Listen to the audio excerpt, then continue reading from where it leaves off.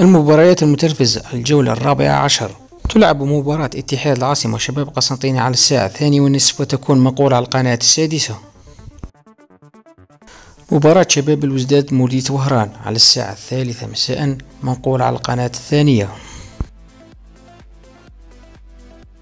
مباراة أتلتيك بارادو اتحاد بسكرة على الساعة الثالثة مساء منقولة على القناة الرابعة.